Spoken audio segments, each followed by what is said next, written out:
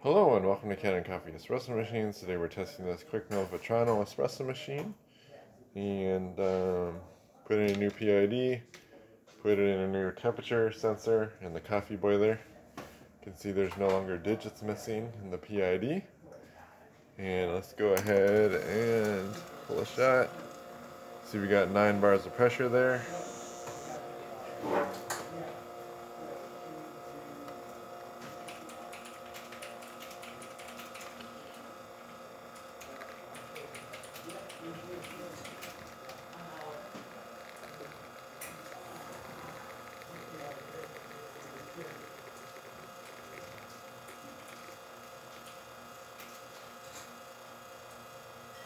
Get a really nice shot of espresso.